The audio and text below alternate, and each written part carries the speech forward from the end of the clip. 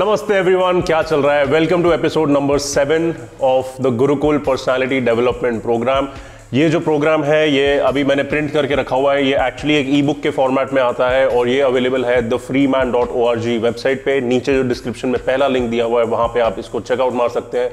आज का video focus करेगा on the target which is how to not give up मतलब इंसान कोई चीज़ अगर शुरू करता है तो उसको छोड़े कैसे ना? सहन शक्ति कैसे दिखाए, आज का वीडियो उस चीज़ के ऊपर फोकस करता है। उसके लिए हम एक काबिलियत के ऊपर फोकस करेंगे, जो है मोमेंटम मोमेंटम मतलब अगर एक बार मूवमेंट पकड़ ली तो उसको छोड़ना नहीं है। ये चीज़ हमारे लाइफ में किसी ना किसी एंगल से हर जगह अप्लाई होती है, चाहे ये पढ़ाई के मामले में हो, चाहे ये काम के मामले में हो, चाहे रिलेशनशिप के मामले में हो तो आज हमने इसके ऊपर एक्सरसाइज करनी है और हमने रुकना नहीं है। हमने शुरू करना है, लेकिन हमने रुकना नहीं है जब तक एक घंटा हम भाग ना लें। हमने भागना है, एक घंटा अगर हम भाग नहीं सके, थक रहे हैं तो कुछ नहीं होता। मूवमेंट जारी रहनी चाहिए। तो फिर क्या करना है? वॉक करो। वॉक नहीं कर पा रहे, और धीरे चलो। लेकिन मूवमेंट रुकनी चाहिए। एक घंटे तक आपको दिखेगा, जिस तरह मैं अभी आशीष, जो हमारा मॉडल स्टूडेंट है स्टूडेंट मॉडल है, उसको मैं सिखाऊँगा कैसे ये एक्सरसाइज करनी है। तो आप ये सारी इंस्ट्रक्शंस देखोगे, लेकिन भूलना मत। मैं आपको वॉट की इंस्ट्रक्शन दे रहा हूँ। अगर आप एक्स्ट्रा टिप्स चाहते हो इस एक्सरसाइज को कैसे करना है तो आप बुक चेकआउट कर सकते हो। लेकिन आपने एक घंटे के लिए भागना है भाग नहीं सके तो जॉग करना है जॉग नहीं कर सके तो चलना है चल नहीं सके तो ज़मीन पे रेंगना है लेकिन मोमेंटम रुकना नहीं चाहिए। और क्योंकि ये एक फ़िज़िकल फिटनेस एक्सरसाइज है तो आप प्लीज़ चेक करिए अपने डॉक्टर के साथ अगर आप ठीक हो ये करने के लिए कि नहीं ठीक है? तो चलो अब देखते हैं आशीष ने इंस्ट्रक्शंस कैसे लिए। ये था डे थ्री हाँ। मानी गिविंग गिविंग में तेरी एंग्जाइटी एक बाधा के रूप में आई ठीक है? बाधा के रूप में आई तो तूने क्या किया? फटाफट सिचुएशन से तू भाग गया। हाँ हाँ। अभी क्या है ये जो बाधा वाला सिस्टम है ना इसको तोड़ना जो डे फोर में सीखेगा। क्योंकि जो डे थ्री है उसमें बाधा आने टाइम तू भाग गया। एंजाइटी आई फटी तूने बाकी इंटरेक्शंस इतने लंबे नहीं किए इसका मतलब पक्का तूने कोई ना कोई एक्सक्यूज ढूंढा कि मैं बस ये बोल के ख़त्म करके निकल जाऊँ। हाँ हाँ हाँ। तो तूने काम क्यों किया? बस बोलने के लिए कि हाँ मैंने किया है। तूने काम ऐसा नहीं किया कि तुझे संतुष्टि आए या जिस इंसान को तू खुशी देने की कोशिश कर रहा है उसको संतुष्टि आए। ठीक है? तो डे थ्री तूने अब कल शाम को एक्सरसाइज करी। आज तेरा डे फोर है। आज तूने भागना है। ठीक है? और आज जब तूने भागना है तेरे को यही बाधा या एक एक्सक्यूज़ अलग अलग रूप में आएगा क्योंकि डे फोर मोमेंटम है और हम उसको एक शारीरिक रूप से प्रैक्टिस करने वाले हैं। मतलब एक घंटा भागना या छः किलोमीटर भागना या जो भी। हाँ हाँ। तो जो बाधा आएगी डे थ्री पे तेरे दिमाग में आई तो रुक गया। इंसान को सबसे पहले अपनी शरीर की बाधाएँ को कंट्रोल करना आना चाहिए। उसके बाद वो अपने दिमाग को भी कंट्रोल कर सकता है उसके बाद अपनी आत्मा को भी ठीक है? तो शरीर में बाधा किस रूप में आएगी? तू भागेगा तेरी सांस फटेगी सबसे पहले तेरी सांस फूलेगी। हो सकता है तू कभी भागा ना हो और धूप भी है आज तो हो सकता है तेरे को लगे कि धूप में मैं थक जाऊँगा।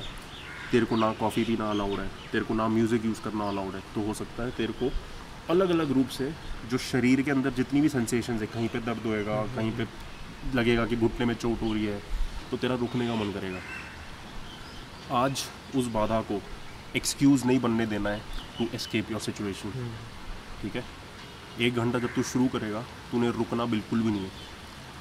चाहे कुछ भी हो जाए तू स्लो हो जा। यहाँ पे पंद्रह इंट्रैक्शन में से तेरा प्रोग्रेस अल्टीमेटली इंट्रैक्शंस के एंड वाले फ़ेज़ में आया। स्टार्टिंग के जो पंद्रह थे उसमें मतलब जितने भी तेरह चौदह वेस्ट हुए वो वेस्ट हुए।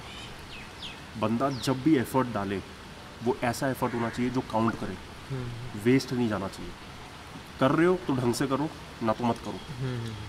अपने आप को झूठ मत बोलो क्योंकि तूने कल मेरे को लग रहा है अपने आप को काफ़ी झूठ बोला कि हाँ मैं कोशिश कर लूँगा कर लूँगा लेकिन जब तूने करना शुरू किया तूने ये सच नहीं एक्सेप्ट किया कि हाँ मेरी फटेगी और मेरा मन करेगा भागने का उस टाइम पे मुझे अपना ही स्लेव बनना है अपना ही नौकर बनना है कि हाँ मेरा भागने का मन कर रहा है लेकिन नहीं मेरे को ये तू मतलब अगर खुद के लिए नहीं कर सकता तो बोल मेरे को ये अपनी माँ के लिए करना है।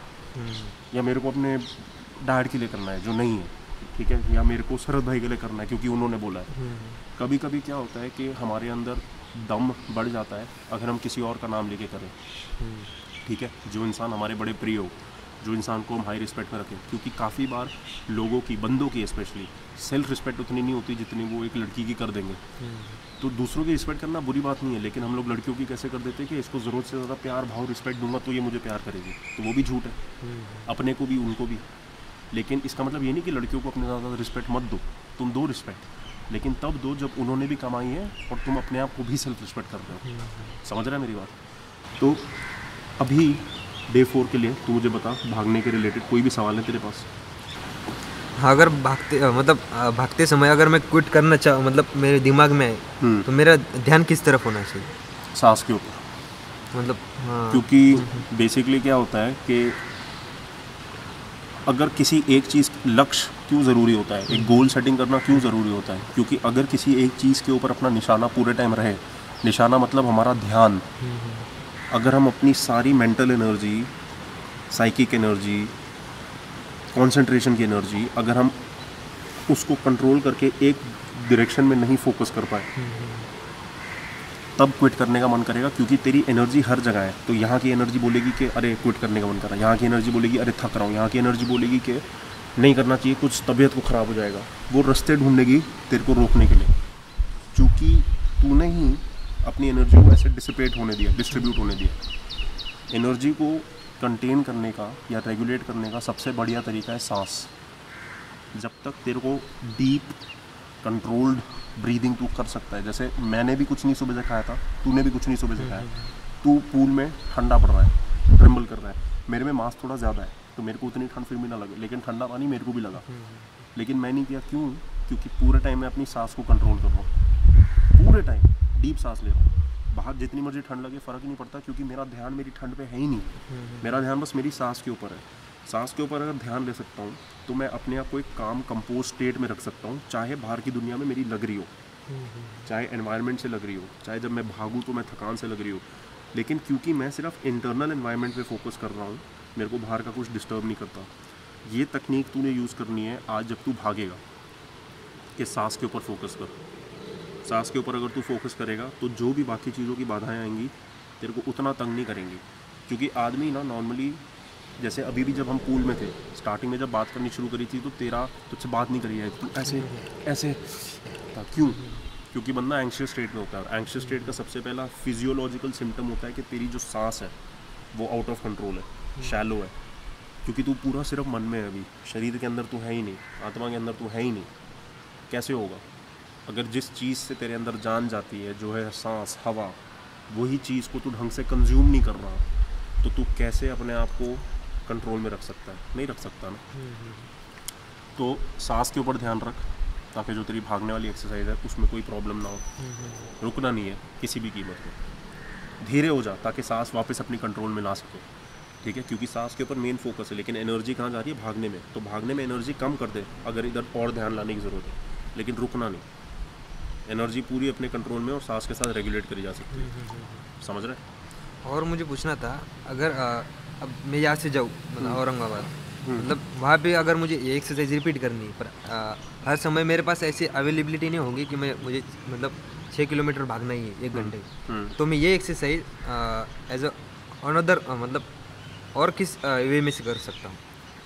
As a potential basically exercise तो सिर्फ़ एग्जैक्टली मोमेंटम के लिए. एक्सरसाइज ये वाली सिर्फ़ एक रास्ता है मोमेंटम प्रैक्टिस करने का.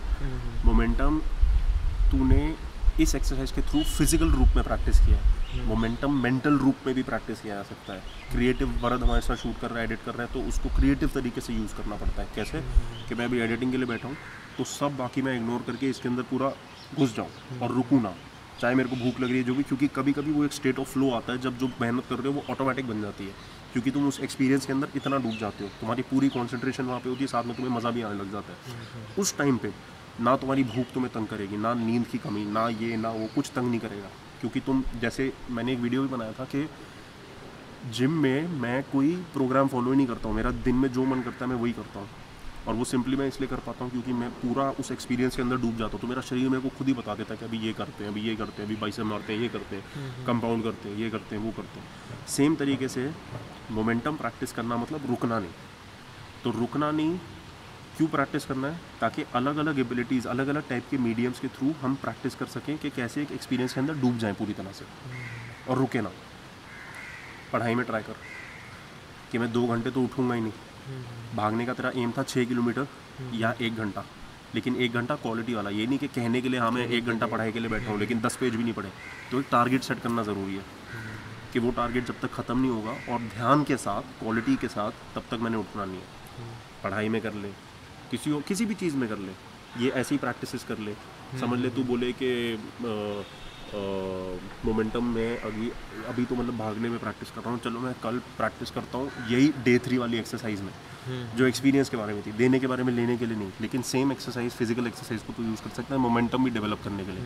पंद्रह बीस मिनट की इंटरेक्शन हो गया आज मेरा फोकस ये नहीं कि मैं पंद्रह बीस लोगों से बात करूँ। आज मेरा फोकस है मोमेंटम बिल्ड करना एक इंसान से मैं बात करूँ। क्वालिटी के साथ। एग्जैक्टली exactly, क्योंकि मोमेंटम बिल्ड हुआ इसलिए तू पंद्रह मिनट तक बात कर पाया ना। अगर मोमेंटम बिल्ड नहीं होता जो तूने पहले एक्सक्यूज में ही छोड़ के निकल गया तो निकल जाता है आदमी।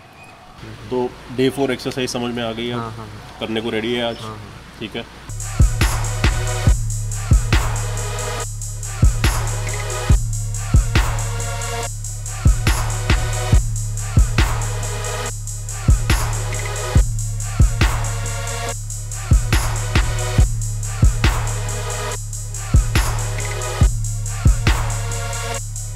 तो गाइज़ आपको कैसा लगा आज का एपिसोड मैंने आशीष को बेसिकली इंस्ट्रक्शंस दिए ये एक्सरसाइज करने की। अब आपकी बारी है ये एक्सरसाइज करने की, आपकी बारी है नीचे कमेंट करने की क्वेश्चंस जो भी आपके हैं इस एक्सरसाइज से रिलेटेड के शरद भाई, इसको कैसे करना है या फिर क्या आपके डाउट्स हैं, मेरे को लिखो, मैं आपको जवाब देने वाला हूँ। और अभी हम अगले एपिसोड में मिलेंगे, जहाँ पे हम देखेंगे आशीष ने एक्सरसाइज करी कि नहीं करी, और अगर करी तो उसकी कितनी लगी, कितनी उसकी फटी, कितना वो थका, और कैसे उसने अपने एक के बाद एक ऑब्स्टिकल्स को ओवरकम किया। Because that is what this exercise is about about overcoming obstacles चलो see you in the next episode